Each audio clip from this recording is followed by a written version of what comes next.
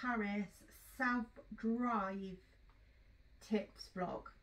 So we've got five top tips that are our top tips, and then we've got some information towards the end.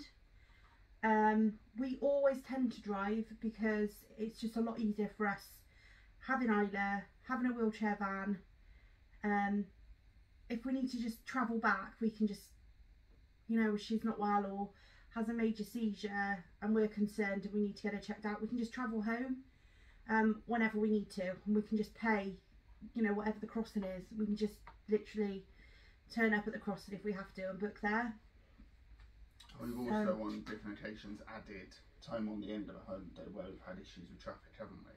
Yeah, so um, we've had certain situations where we've been able to add a day on because we've lost a day via, you know, just travel chaos.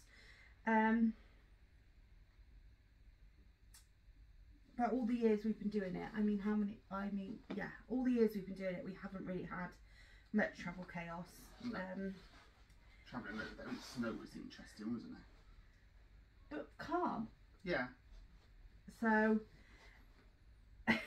you have to bring out the snow every time. um,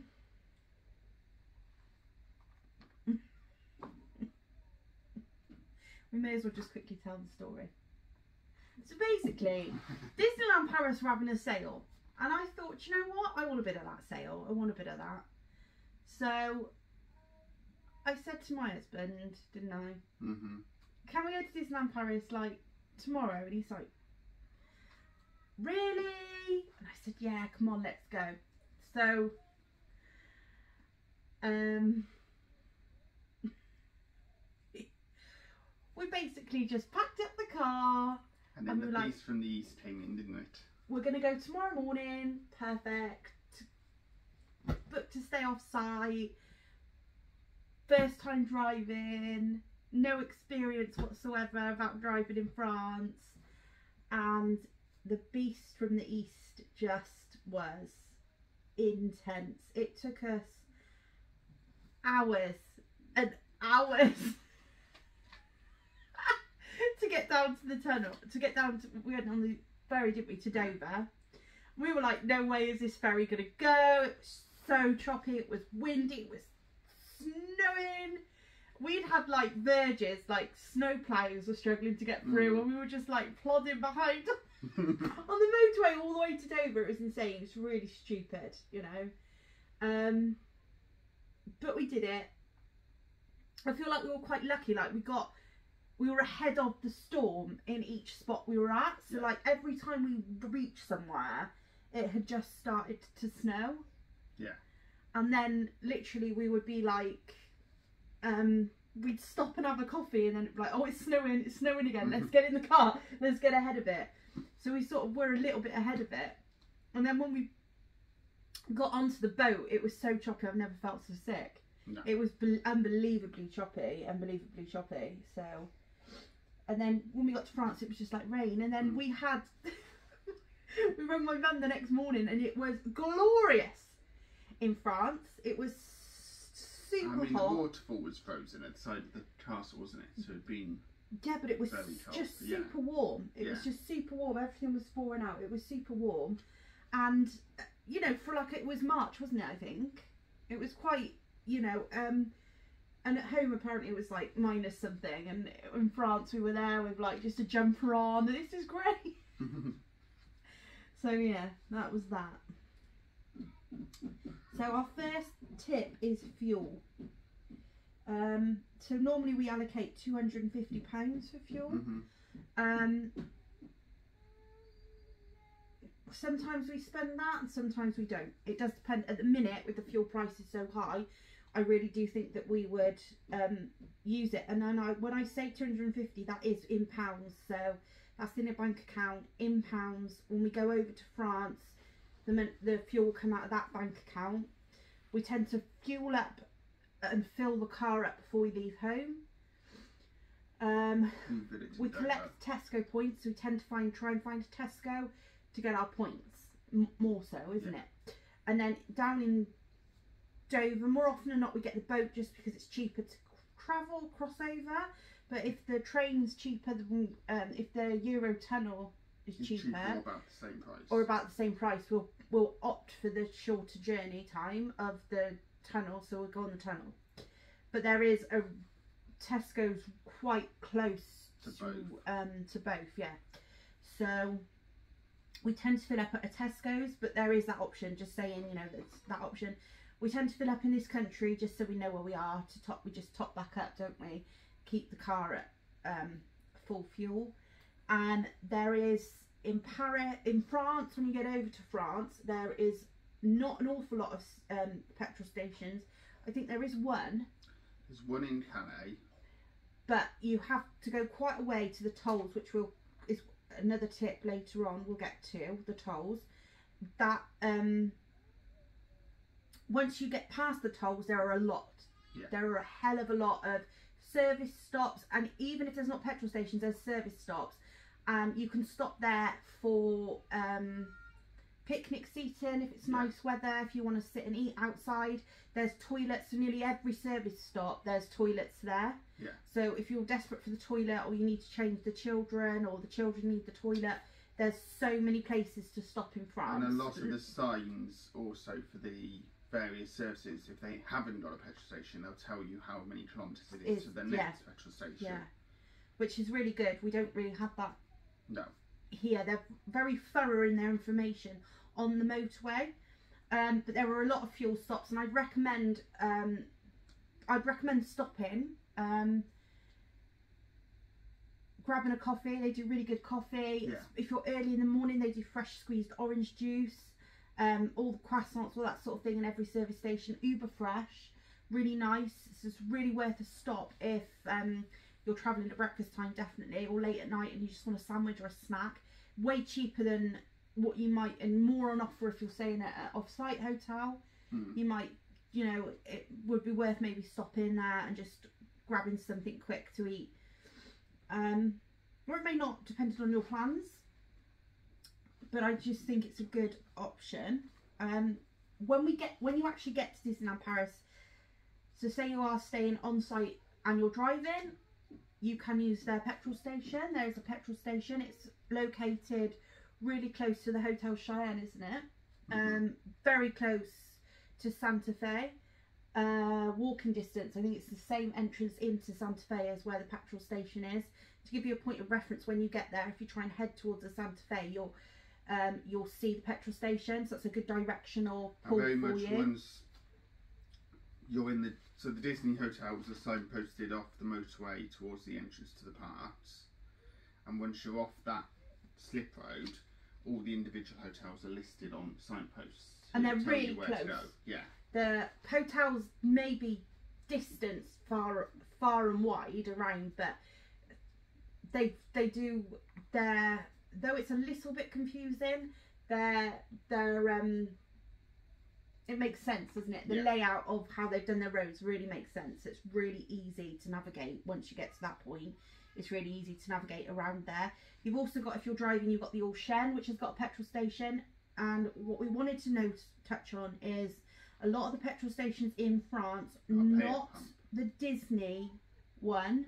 The one at Disney, you can use cash, you can use your cards, and if you put thirty pound fuel on fuel in, it'll be thirty pound. gives you pay in shop. Now, a lot of the ones on the motorway, you go in and you pay before you put Mhm. your fuel in, Or they pay at pump. or they pay at pump. And if they pay at pump, they will take a hundred pounds, regardless of how much fuel you put in. Yeah. They'll take a hundred euros out of your bank, and if you say you put thirty pounds in, or forty euros, fifty euros, sixty euros, You have to wait. wait for that to be refunded. So that's worth bearing in mind. Um, so that's everything I've got to say on the fuel and petrol needs, and it's over to you um, for tip number two. So when driving in France, you need to take your car insurance documents. So you need a printed copy of those car insurance documents in your car, so the police can check them. Your driving license. If you're a professional driver, you need all your driver cards, and they physically need to be on you. You need your registration certificate, or your vehicle on hire certificate if your vehicle is leased. to show you have permission to have it in France. So if you're on Motability, you need to ring Yeah. Motability. Um, you need a high visibility jacket for everybody in the car, and they need to be accessible. And we mean everybody. Yeah. So children, babies, as well. Everybody, yeah. Everybody. So the easiest way to do it is if you buy a kit of RAC, it'll come in a bag. Just put that somewhere in your car. Don't bury it in your boot because if the police want it, they want it there and then. They do not want you digging through your entire boot to find it. Um, need alcohol test kits, which are just little sticks that you put a saliva sample in and it'll test for alcohol. They need to be in date and they need to be accessible, which is police again will check for them. I think it's a 50 euro fine if you haven't got it. And they can be big fines. The Yeah. police can choose to fine you what they And- want. So it can, some yeah. of the fines can be really big and fines. if the police do decide to fine you, it is on spot payment. Especially now we've left the EU, they do not have access to DVLA's database. They will want the payment there and then. Um, you need a UK sticker, not a GB sticker. So the law changed two years ago, I think it was. Again where- the EU, wasn't it? Yeah, when we left the EU, so rather than using the EU designation of GB, they used the UN's UK designation. So you need UK stickers, GB ones are not valid. Headlight deflectors, so the little stickers are on your headlights to change the direction of the beam. If you have a newer car, it may do it automatically. Check your Check your car, but also I would say, because it's in French law, carry them anyway. yeah. Even if you don't need to use them, carry them anyway. Because again, if they find that you haven't got them and you haven't got a way of putting them on and they're not happy, they will fine you. Yeah. That it's, it's not like here where you can butter them up. They'll fine you. So, the easiest way to get all of this is to get an RAC driving pack from RAC's website. The bonus with RAC's website is about £25 of just lot for the pack. You can add in high vises. hmm So if they supply two, you can add child ones in, you can add adult ones, you can customise the kit. Also turns out you now need a warning triangle, which you didn't used to need because I've just checked on the internet as well, and that's been added. You used to only need it in. Yeah, you still Germany. need it in Germany, Belgium, I think it was. Two Um, additional things I will say quickly. If you're planning to go into central Paris in your car, you need a clean air sticker. You need to get that in the UK before you go to France. Again, if you do not have one, they will fine you. mhm. And if you're going to a snow area, so which is unlikely from Disneyland Paris, things but if you're going to the Alps, you also South, need snow yeah. chains. So if you're going anywhere that's designated as snow zone, you need snow chains as well. So I think that's everything I was doing to say in relation to that. Yeah. So tip number three is tolls. Um, so it's more of a guideline rather than a tip, but it's just to say that on average, um, we tend to keep about fifty pounds um, in an account. Um, we use a Monzo card, which is really great for travel. We find really really great for travel. Um, it's got really good exchange rates. Um, you get the best exchange rate on the day. We don't have to faff around with travel money, but we just do find that we always keep 50 aside of our spending budget for the tolls. You're looking about between 23 and just under 25. Um, it just varies a little bit. Um, we found it varies a little bit. Mhm. I don't think it should vary, but sometimes we've had really wacky prices. Mhm. Like one time we came back and it was like 17 euros, and we were like that.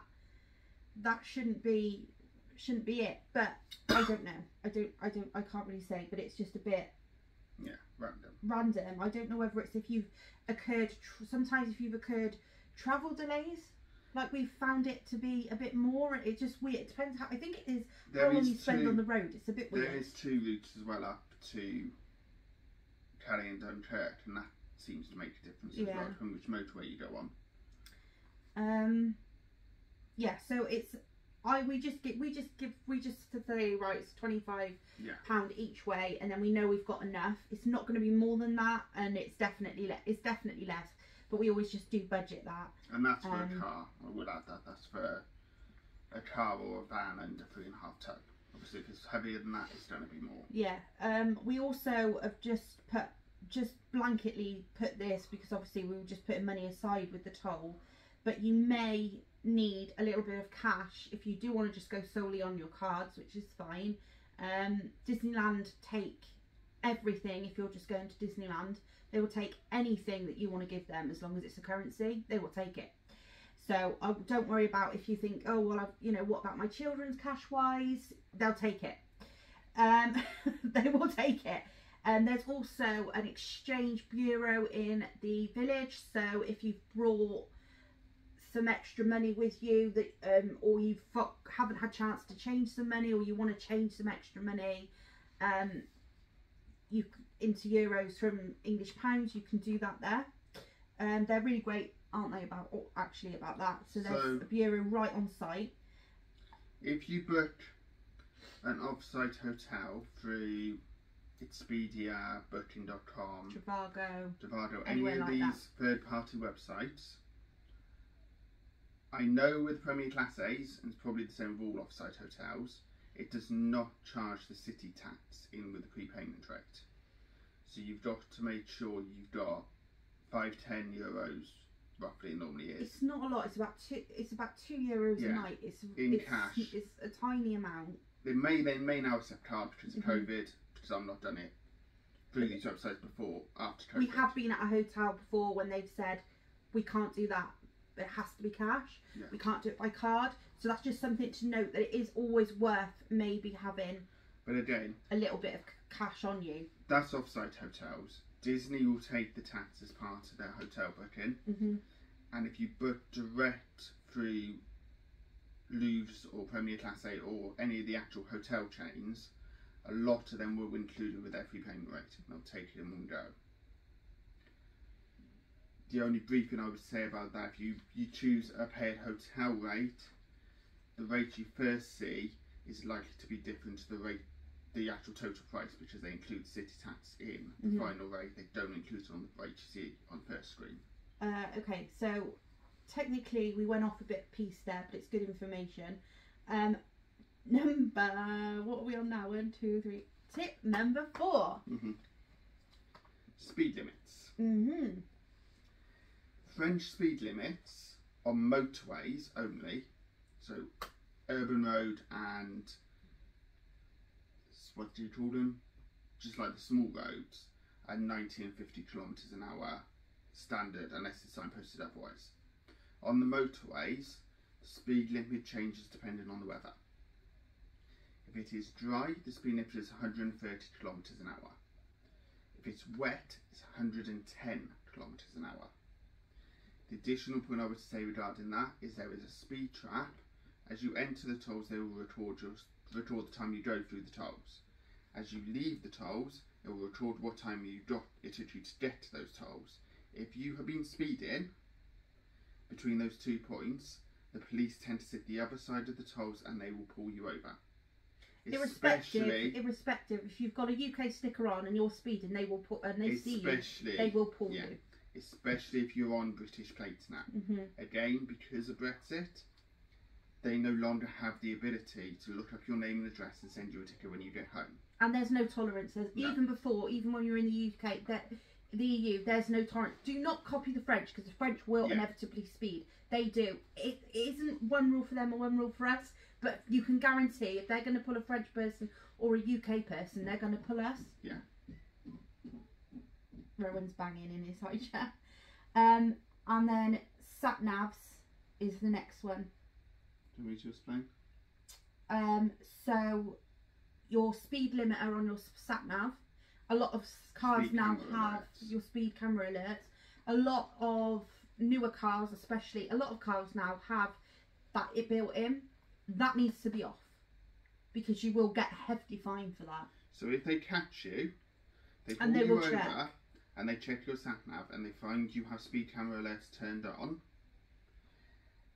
They're not like the British police. They will not just tell you to turn them off. They may do. Though if you find a nice police officer who's in a good mood, he may just tell you to turn them off. If you don't, at best, you'll get a fine.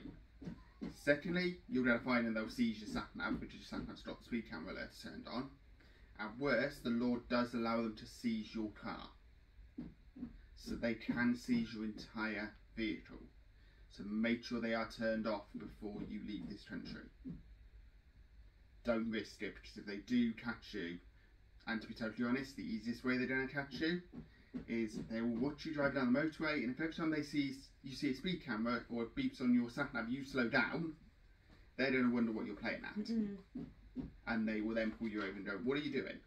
It sounds grim, but it's not that bad. No. It's not bad. It's just knowing the rules yeah. and sticking to them because we aren't French, we are British, and at the end, it just is one of those things. It's really worth just playing by the rules because none of this, you know, none of this needs to be an issue. None of this No. needs to affect your holiday. So we're trying to give you the best advice and say And the these are last- the things not to do. And the last thing you need is to have your spending money, your holiday money, everything that you Going need for your holiday. fine, yeah. Yeah, everything that you need for your holidays ready and set up, and then get pulled by the police and then go, we want 100 euros and we want it now. hmm So it's better to And be free once, armed once than you to, know once you know these basics and you have driven it once, it's fairly straight, Yeah. isn't it? Once you get off the boat, um, It's all or, motorway driving. or the you sort of you're near enough the same, really, aren't you? I mean, a sort of you're sort of you're sort of Dunkirk here, Calais there, and then where the tunnel puts you out, it's almost more. You feel more towards the left, don't you? And you Yeah. sort of come round by the port. So you're all very much in the same place. So getting off the boat, you know, getting off the coming off the train, whatever. Um, you sort of straight off. You're sort of going straight, and you know you're sat now. And it's all, it's basically head towards Lille, isn't it? Yeah, it's head Start towards with. head towards um head towards Lille. You know, get your get your sat nav on your phone on. Get your sat nav on. Obviously, your speed camera alert turned off, and it's pretty much a straight. You don't feel it. Obviously, isn't dead straight, but you do feel like you pretty much just go straight, straight, straight. I think you've got one turning off, and then you literally turn off again, then to Disney. So you really do go straight Mhm. for a long period of the drive. It's really not a bad drive once you've done it once and you you've got your your grasp of it. It's really not a bad drive. Um, can you go and deal with Rowan, please? Sorry, Yeah. it's just I want him out of that high chair because he's bang he was banging. Rowan's just watching telly in Isla's room in his high chair. Um, free on-site parking. So this is more of advice than an actual tip. So free on-site parking, on-site parking. Um, disabled badge or not, you pay for parking, um, which is thirty pounds for a day. So if you're staying off site and you are driving, or you know there are plenty of plenty of places to stay where they've got an on-site uh, shuttle bus, which is a free shuttle service, or you may have to pay. I think some places you may have to pay about two euros for the shuttle. Um, but I might be wrong there. I'm just thinking that's off the top of my head. I'm sure I've read that somewhere in the past. Um, but yeah, if you're driving and parking, it's thirty pounds the night. Now, if you get a Magic Plus or an Infinity annual pass, you might find that you are stay saving a lot of money And Magic Flex. on Magic Flex, you might find you're saving a lot of money just on parking alone. Uh, we did one trip where we actually did seven days. Um, we did a long trip, and we found that just having the free parking paid for one of our annual passes, and we were then able in that first year. We then a- when we were first annual pass holders, we it enabled us to have two trips with the annual pass. So just the parking alone um, is it may be worth just looking at having one annual pass, even if you are only going on one trip. Looking at the levels, you know, your Infinity gives you a photo pass, Yeah. which um, is a yearly photo pass. So It gives you free gives parking. 364 days. Does not include Christmas Day. Yeah, so it gives you 364 days, doesn't include Christmas Day, and also you do get 20% off all your merchandise, 15% off your meals, that's quick service and sit down. Yeah, quick service. And when you get a sit down, you get a free drink, don't you? Yeah. So the one thing I would say, and I'll link this all below anyway. If you're thinking about annual passes and to get the free parking, just click on the link below, check the availability calendar on their website, just to make sure the dates you're going are actually available. and you can book three days at a time. But we've often found, we often find if you book, if you want to go for more than that, it's the weekends that book up. Yeah. So there's normally plenty of availability. Um, It does look like. So I was looking on there the other day. It does look like they're going to at some point separate out the Disneyland Park and the Disney Studios. mm, Don't exactly know how the hopping's going to work between the two, because of what's happened recently is you won't be able to get an annual pass reservation. The studios will be practically empty, and the main park will be full. So me and Isla went in to sort out her disability pass last time we were there. You can always risk it as said- well. You could, if yeah, you're an annual pass were like, holder, you can always risk it. So yeah. we we did um, we turned up late in the aft in the day. We went in. Um, we had some um, admin to do. Let's put it that way. Um, for Isla um, and her pass, so we went over to the studios to do it. 'cause that's where they send you now. Um, if you're an annual pass holder, to the annual pass office, and the park was empty enough that they had they had allocation, so they let Jason and Isla um, go in and ride some rides, Mhm. have a good time, have a couple of hours there. So it's not to say that you might not turn up in the afternoon, they might not let you in. If there's availability, Yeah. you know, they're going to want, if you're an annual pass holder or not, if there's availability, they're going to want you in there, aren't they, spending your money, you know, enjoying your time. So, yeah, so that's all our driving tips. I hope this is helpful. If you have any questions regarding uh, anything, driving, on your pass system, anything that you want to know, do comment. Um, and we will endeavour to get back to you with any information that we can either find or that we've got within our knowledge. I will say that I will link to the GovUK site, the RAC site, the Disney availability site below. And also, I'm going to do a video probably over the weekend at some point on how you can do the annual passes through the French website if you want to do pay monthly because I'd rather do mine and Isla's. So I meant to do a video whilst I'm doing it. And that is another good option um, for you uh, to spread the cost of your holiday.